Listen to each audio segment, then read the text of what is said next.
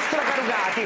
Tra l'altro mi è venuto il dubbio che Carugati e Geremica hanno lo stesso parrucchiere. non ne sono sicuro.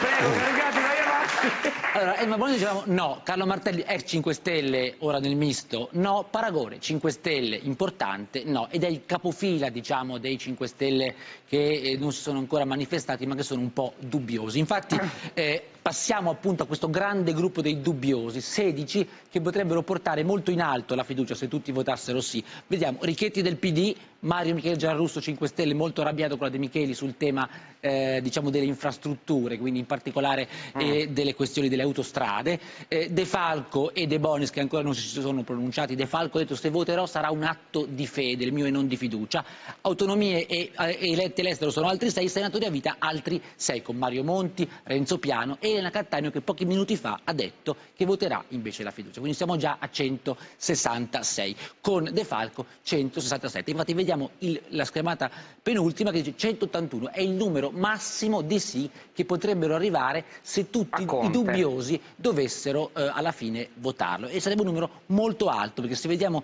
i precedenti delle scorse fiducie eh, vediamo che Conte 1 era 171, eh, Gentiloni 169, Renzi uguale, Monti 281 al Senato e 556 alla Camera, record storico, storico. di voti di fiducia.